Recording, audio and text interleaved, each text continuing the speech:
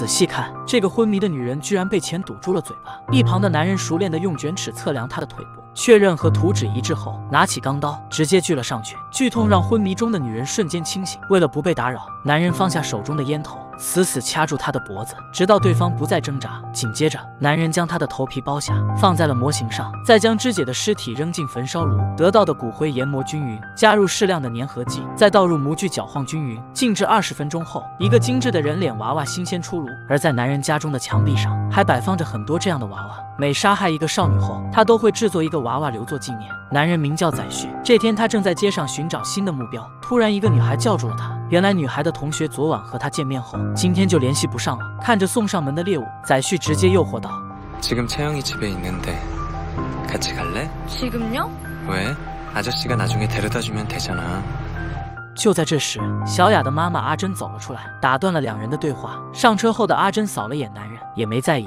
他不知道的是，男人记下了他的车牌号。晚上，一家人围坐在桌边庆祝小雅十四岁生日。吃完蛋糕的爸爸想出门抽根烟，拿出打火机，却发现上面写着“爸爸不要抽烟”。还没等他高兴完，妻子就悄悄地走了出来，发现想要抽烟的他，直接将他锁在门外，自己则在浴室泡起了热水澡。屋外，一个男人捡起棒球棍，确认车牌无误后闯了进来，而这时正在洗澡的阿珍发现门把手被人用力转动，还以为是丈夫心急，等匆忙洗完澡出门，却发现屋内并没有人。就当她打开冰箱门，刚喝下一口水时，身后突然出现一个男人，将她吓得摔倒在地。紧接着，男人一棍子砸下，她看到了倒在旁边的丈夫，鲜血很快洒在墙上。危急时刻，她赶忙按下报警按钮，最后被送往医院。经过一次次电击抢救，她捡回了一条命。但倒霉的是，她的主治医生也想害她，因为她的稀有血型和医生患有心脏病的女儿匹配。想要将阿珍的心脏换给女儿，所以在当天的新闻发布会上，他宣布阿珍已经脑死亡。而警方在案发现场也没有发现凶手的指纹，也正是因为这个，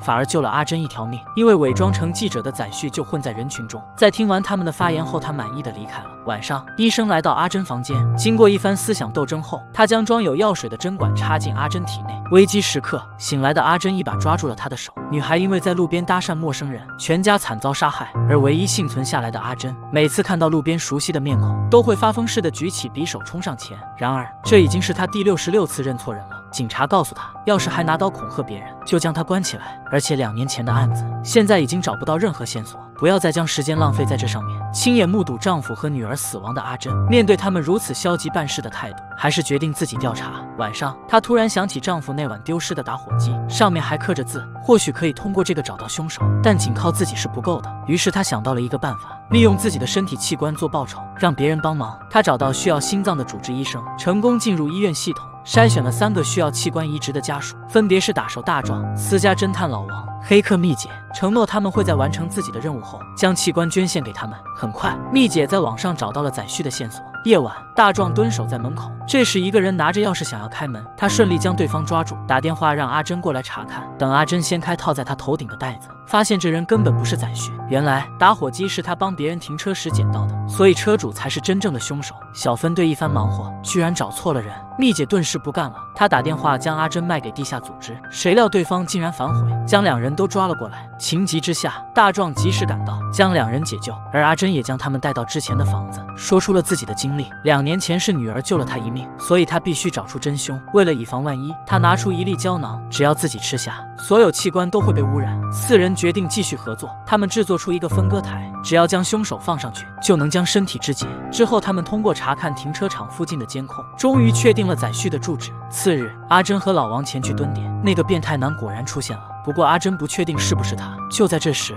男人突然将脸凑到车窗，眼睛死死地盯着车内。好在他并不能看见。然而他们刚刚松下一口气，男人又不死心地绕到车后，等对方离开，阿珍决定去他家一探究竟。男人将人骨研磨成粉，加入粘合剂，再倒入模具搅晃均匀。时间一到，一个完美的人脸娃娃就制作成功了。这样的娃娃在他家还摆放着很多，每个娃娃的背后都是一个花季少女的生命。第二天，男人又出门物色新的下手目标，趁着这个间隙，老王。王撬开了门锁，阿珍推着轮椅来到屋内，映入眼帘的是一个巨大的天使娃娃，上面插满了利剑，而墙壁上也摆满了一排瓷娃娃，每个娃娃的旁边都贴着不同的名字。在墙壁的一角，阿珍发现了女儿的项链。正当她艰难的起身想要将它拿下时，离开的载旭去而复返。回到家的他发现桌上的工具似乎被人挪动过，于是，在屋内四处查看。就当阿珍快要被发现时，老王冒充送报员，及时转移了载旭的注意。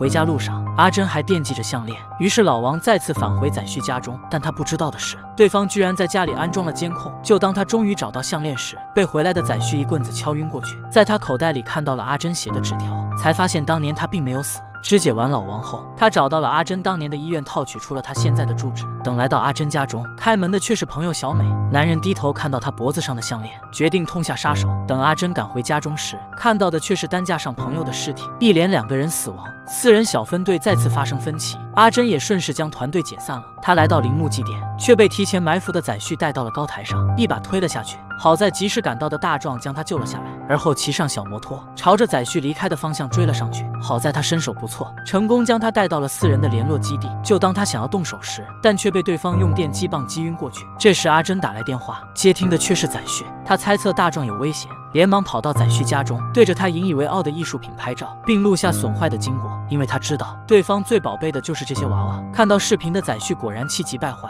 扔下大壮，急忙赶回家。可刚走到屋内，就被阿珍和蜜姐布置的陷阱砸个正着。就在蜜姐上前查看时，载旭一把将她抓住。为了解救蜜姐，阿珍只好一个个损坏她的娃娃。气急的他将阿珍推倒在地，拿起电锯就要动手。这时大壮及时赶来，和载旭扭打在一起。得空的阿珍点燃打火机，扔向被全身浇满汽油的娃娃。载旭看着这一幕，心如死灰，决定将阿珍千刀万剐。突然，燃烧的娃娃掉落下来，刚好刺中了载旭的腹部，他直接领了盒饭。而小团体经过这段时间的合作，已经有了感情。他们不忍心再要阿珍的器官，就连疼爱女儿的医生，在最后关头也放下了注射剂，可却被阿珍一把夺过，直接扎入体内。大仇的得报的他，已经没有活下去的动力了。影片的最后，医生的女儿、大壮的妻子、蜜姐的母亲，他们都成功移植了阿珍的器官，获得了健康，连带着阿珍那一份精彩的活着。